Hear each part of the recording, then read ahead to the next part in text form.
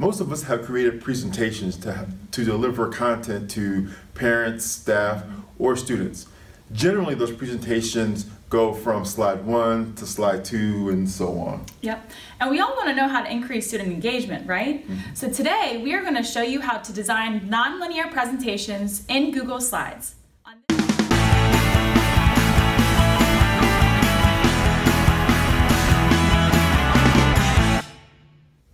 Nonlinear presentations allow you to navigate through material without having to follow a sequential order. Some examples of these presentations include Jeopardy games, quizzes, comic books, and self-exploration on a topic. Before you begin writing content in your presentation, it is important to map out the flow for how you want your content to be delivered. For this example, I am creating a self-paced practice quiz that students can take independently. Depending on the delivery method, you might need a table of contents, introduction page, or instructions. I will choose to include an instruction page so students know how to navigate this quiz. Next, I will insert placeholders for the questions. You can do this by pressing the drop down next to the plus button and choosing whatever template that you'd like to for your questions. I will need pages after the questions dedicated to telling students if their answer was right or wrong. You can insert pictures directly in, from the web into your slide deck. I've already inserted my slide to tell students that their answer was correct. So let's insert a picture telling them that their answer is incorrect. You do this by pressing the Insert button and then going down to Image and then search the web. These pictures are already filtered for images you can reuse and modify. I'm going to type in try again, select the one that I want and press insert. This will notify the students that their answer is incorrect and that they'll need to try again to get the right answer. Next, we will need to insert navigation buttons to bring students to the next question if they are right, and back to the question again if they were wrong. And this button is going to bring students back to the question to try again. I have also included a hint button if they get the answer wrong the first time. You can continue this process for however many questions that you would like.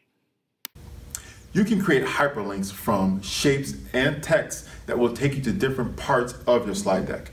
Now keep in mind that it's important to keep a consistent flow and theme to keep your audience focused on the content that you're delivering to them. Now that we have mapped out the flow, next we will insert hyperlinks to appropriately connect each slide. The first thing we need to do is create a home button. This will bring students back to the instructions page. We do that by pressing the insert button and we're going to grab a shape that we're going to designate as our home button. I'm going to use a callout I'm going to put it in the bottom right hand corner so that students know that that's always the spot that they can go to to press the home button. I can make it any color that I would like. I'm going to double click to actually be able to type in the shape. And I can make it bold and underline it if I choose to do that. Now let's go ahead and connect this to the instructions page. Make sure you have clicked on your image and we're going to press the insert link button. Go ahead and press the slides in this presentation and now we're going to search for slide number two to connect it back to the instructions page.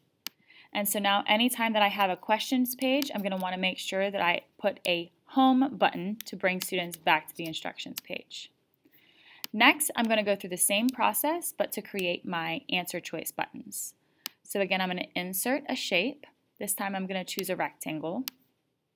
And for now, I'm just going to write answer choices inside. Later on, you can go back in and add your content and make it look really nice. For this example, let's go ahead and make answer B the correct answer. So we actually need to make sure that this hyperlinks to slide number four, which is the correct answer button. So again, the same process. We're going to highlight the actual shape. I'm going to press the insert link button. And now let's find slide number four, which is where the correct answer choice is. And now it's linked to slide number four, which is the correct answer. You'll go through that same process for the rest of the three answer choices to link it to the try again slide. And I also love to add images, animations, and videos mm-hmm. that connect to the content and my audience's interests in order to keep the presentation fun and engaging. A great tool to use in conjunction with Google Slides is WebPaint. You can add it to your browser as a web extension in the Chrome store. Press the Add to Chrome button next to the web paint. At this point, you will see a paint palette on your browser toolbar. That's how you know that it is added to your browser. Once you have it on your browser, go ahead and open up a new tab and look for a website that you'd want to interact with in conjunction with your Google Slides. Since my quiz is on Matter, I found a website that talks about Matter and some content that I would want to include in my Google Slides. Once you're on your browser, go ahead and press that Paint button again, and now your toolbar is going to come up. These are all the tools that you can utilize on live web pages. You have shapes that you can use, you have your pointer button, you actually can add text or free draw with the pencil, and you can add lines as well. You can change the color. And in a second here, I'm going to show you how to take a screenshot. So let's go ahead and add some text to this picture because I'm eventually going to want to insert this picture into my Google Slides.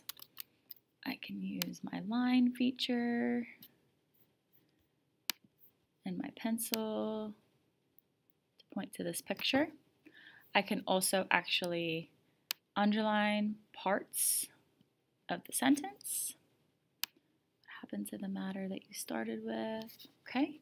Once I have everything that I want, I'm going to go ahead and actually take a screenshot of the content that I just interacted with. So I'm going to press this screenshot picture. It's going to bring me to a new tab uh, so I can crop the parts that I want. Okay, that's the part that I want. I'm going to press crop. I'm going to press the finish button and then download. Now that it has downloaded, I can press save. So my image saves, and now let's go back to my slides because I'm going to insert this as one of my questions. So now I just press insert image, and I'm going to actually upload it from my computer.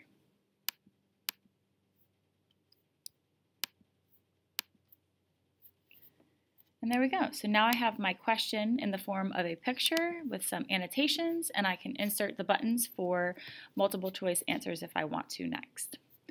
I also want to show you that you can actually present utilizing WebPaint as well. So by doing that, you want to press the drop down underneath and press Presenter's View. Once you do that, go ahead and just press that uh, palette again, that paint palette, so that you can have your toolbar come up and now I can actually write on the slides without um, the screen actually changing. And again, I can type. And then by pressing the erase button, it's, it's going to erase just the annotations from that page, not the actual screenshot.